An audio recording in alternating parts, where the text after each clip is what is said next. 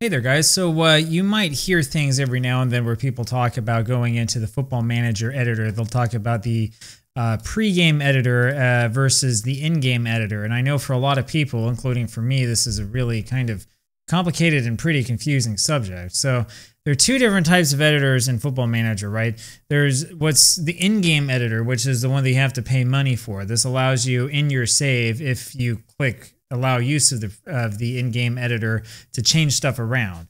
So if you're playing your save and you're like, yeah, my team really sucks, I want to have a better player, we don't have any money, you can give your team more money. You can uh, move players from team to team. You can kind of screw around with things in game. You can't do everything with the in game editor. And we'll cover some of the things that you can and can't do, I think, a little bit later on. The real powerful editor, though, is one that comes for free with the game. So I have a hard time understanding why the powerful editor is for free and they charge money for the one that can't quite do as much.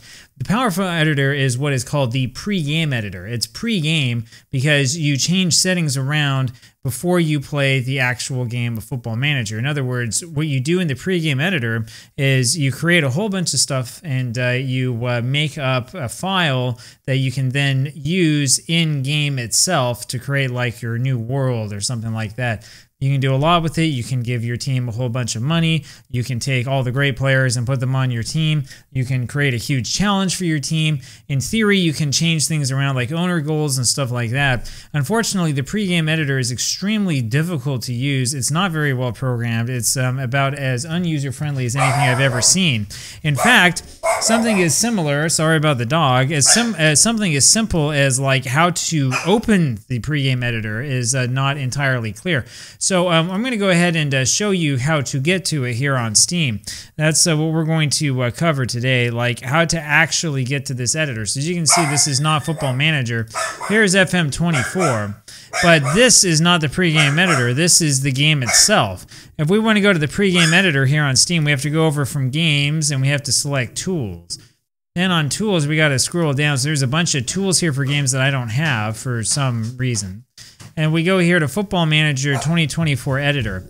Now, I've already installed it. If you don't have it installed, uh, you click over here um, on the install button and you can install it. On Linux, because I'm running Linux, you have to install using a compatibility mode, which is usually going to be Proton, right? So we've already done that part. It's the same thing as installing the actual game on Linux, which I covered a couple days ago. It's not really such a big or major deal to do. The interesting part here is how to get into it. So you know where it is. Again, it's under this tools thing.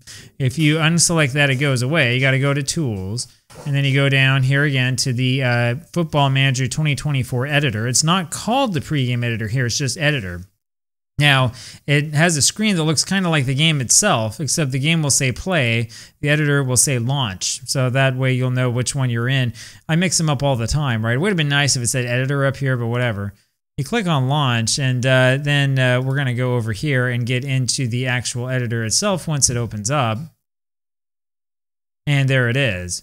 Now, the first thing that it's going to do is it's going to ask you to choose a database, and we're just going to choose the default database. You can use the early database, 24.1 is this, or you can use the most recently updated database. So we'll use that. And now it loads the database. And here you are once it's done inside the database itself. That's how to launch it, and that's how to find it, and that's how to get to it. So that's all we're going to talk about today, just the most basic part of this, right? There are two different types of ways you can like load files and save files. You can load and save them as FMF files, which I believe require validation in game. And you can also load and save them as XML files, which allows you to edit it in a text editor outside of the editor itself. That gives you a lot more leeway to do stuff. But we're already talking about stuff that's a little bit more advanced. Again, the most important thing to understand here is how to get to this and how to open it, right? Once you're in here, things are not that difficult, right? If you have an editor data file, I don't, but if you have one already here, you can choose it and you can uh, find it and uh, load it then take a look and see what the other people have done. And there are a bunch of other things here, settings and other things that uh, we can change maybe a little bit later. But there you go. Uh, long and short of it is that's how to open up the uh, Football Manager uh, pregame editor. And uh, now you know how to do it. And uh, so now when you go on the forums and people are talking about this, you know exactly what they're talking about. There you have it. Talk to you later. Bye.